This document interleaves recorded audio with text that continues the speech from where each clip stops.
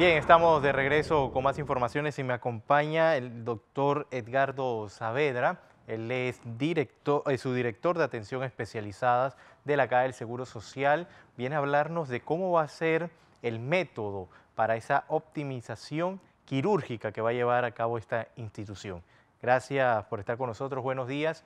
¿Y cuál es el método que van a utilizar para salir de esa mora quirúrgica que tiene la Caja del Seguro Social. muchas gracias por la entrevista. Este es un proyecto que tiene una fase 2. Ya hicimos la primera eh, fase de optimización el año pasado, entre el mes de julio al mes de diciembre. Y en ese proyecto básicamente lo que nosotros intentamos hacer es que aquellos pacientes que están en lista de espera más de tres meses tuviéramos la oportunidad de operarlo en un proceso continuo y permanente durante los seis meses en por lo menos 14 hospitales del país se operaba en la mañana y en la tarde, en los horarios regulares de trabajo de los médicos especialistas, cirujanos de diferentes especialidades, y aquel que lograba tener su productividad adecuada se le permitía continuar operando en la tarde-noche o los fines de semana. Esto exponenció la cantidad de pacientes que podíamos operar en un lapso corto y de manera permanente logramos números aceptables, muy buenos. Para el año pasado, a finales de diciembre, teníamos más de 13.000 personas operadas en un periodo de seis meses de patologías específicas que habíamos escogido y que estaban un listado y que tenían larga data de, de, espera. Eso no significa que la caja operó solamente 13.000 personas. La caja operó en todo el año 2017 81.000 personas, de las cuales el 30% son urgencias. Ahora, ¿cuántas personas se van a beneficiar con eso? Correcto. Entonces, una vez que inicia el año, tenemos una, una acción directa sobre lo que había pendiente. Enero, febrero y marzo estuvimos operando todo lo que había en lista de espera y en abril levantamos los listados pendientes, tenemos 7.000 personas en lista de espera, de los cuales 5.000 son de patologías comunes, vesículas, hernias, temas ginecológicos, temas de botorrino, temas de, de, urología. Las que son ambulatorias, que también se le llama. Entre ambulatorias y cirugías electivas de corta estancia. La cirugía de alto perfil que o de alta complejidad, que demoran 2, 3, 4, 5 días hospitalizados, más tiempo, que por lo regular se realizan en hospitales de tercer nivel como el Complejo y el Hospital Regional de David, son cirugías que se hacen eh, este, dentro de estos hospitales. La que vamos a atacar son las 5.000 y todas las que se puedan de los otros grupos de 2.000 en un periodo de 7 meses. Ahora bien, también se habla de que la Caja del Seguro Social podría estar realizando estas operaciones en hospitales privados. ¿Cuánto costaría eso? Ok, nosotros tenemos un proyecto que manejamos directamente con la Presidencia de la República. El señor presidente nos ha estado apoyando en diferentes segmentos. Eh, apoyó con la partida discrecional para el tema de, cirugías cardiovasculares que eran urgentes. 200 cirugías cardíacas operaron a un costo de 50 mil dólares cada cirugía en hospitales privados y eso ya está casi por terminar. También nos apoyó con un proyecto que se llama Cero Mora, que se han operado casi 650 pacientes, pero ahí sí el Estado, la Presidencia de la República corre con el gasto completo de la cirugía y la estancia hospitalaria, incluso la parte de hotelería. Y actualmente estamos operando pacientes de, columna, pacientes de temas ortopédicos, previamente fueron cirugías de vesículas, histerectomías, urológicas.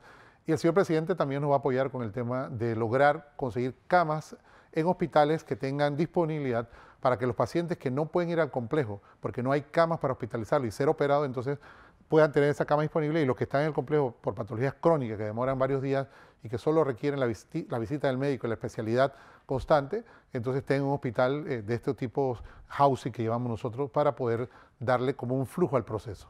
Cuenta el complejo hospitalario, porque uno de los hospitales es el de la transísmica, con todos los cuartos, todos los equipos necesarios, con todo el personal necesario para realizar estas operaciones cuando vemos que el cuarto de urgencias se ha quedado chico?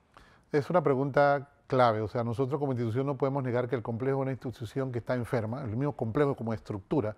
Hace poco se nos cayó una losa por temas de, filtraciones.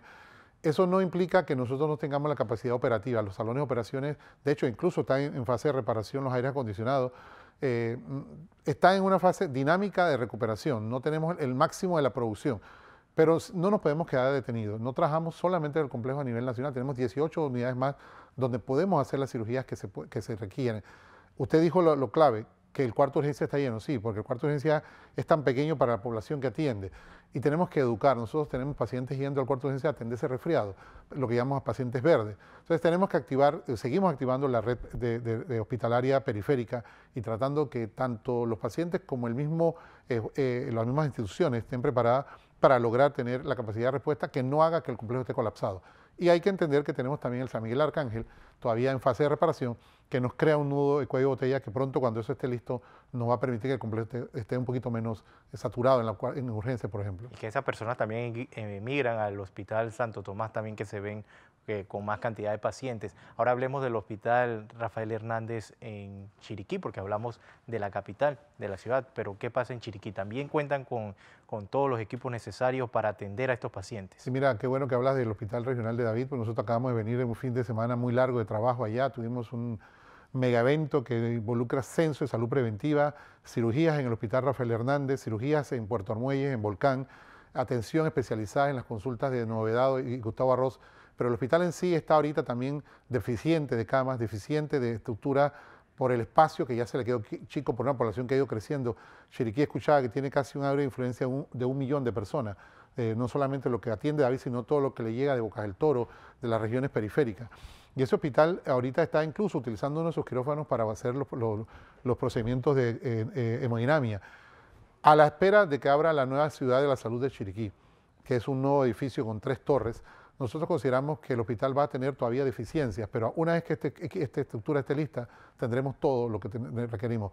Los equipos actualmente los tenemos en el hospital, sin embargo nos falta mayor capacidad de camas también, el mismo problema que la Caja de Seguridad Social tiene en el complejo de la, de la transísmica. ¿Ya los pacientes han sido llamados para decirle tal fecha va a ser operado? ¿Cómo ha sido esa dinámica? Nosotros hemos creado un plan eh, estructurado de por lo menos 20, 25 puntos que tenemos que discutir con todos los directores médicos el señor director y el señor subdirector general han pedido que seamos muy estrictos en la vigilancia, en la dinámica de cómo se va a, dar ese, proceso, que haya fiscalización, que sea auditable, porque es un proceso que incluso la Junta Directiva ya conoce. Eh, nosotros esperamos que para la primera semana de junio tengamos los primeros eh, eh, cirugías ya realizadas en optimización previa no solamente entrenamiento, sino fiscalización de lo que se le va a pedir a los médicos, los especialistas y a los directores médicos que hagan para que este proyecto no sea mal llevado. ¿Disminuye estos tipos de, cirugías la mora quirúrgica? Es buena pregunta también. El año pasado, con la, con la, optimización en la fase 1 que hicimos, si esta es la fase 2, esta es la fase 1, logramos una disminución de la mora quirúrgica general de alrededor de un 70%. No logramos bajar toda la mora quirúrgica, pero sí impacta. Una persona que tiene seis meses, un año, dos años, que tú lo operes, ya has hecho algo por él. Y si la Caja de Seguro Social espera que tengamos las estructuras, que tengamos el 100% de los aires funcionando, que los insumos no nos hagan falta y que no, para montar programas como estos, entonces nunca vamos a hacer nada. Claro que impacta, claro que vale la pena y tenemos médicos motivados, especialistas de todas las áreas tocando la puerta diciendo yo quiero operar los sábados. porque qué pasaba? Tenían los quirófanos cerrados en las tardes o los sábados. ¿Para qué vas a tener 20 quirófanos, 30 quirófanos del país cerrados? Si los especialistas están en su casa y ellos dicen, bueno, yo voy, hago 5 cirugías más, hago 10 cirugías más y entre semana me comprometo a operar la cantidad que yo requería operar. Eso ha hecho una dinámica bastante positiva para la caja. Agradecemos, doctor Saavedra, por estar con nosotros y le deseamos todo el éxito en estas nuevas cirugías que se van a realizar desde junio, ¿no? Así es. Desde junio.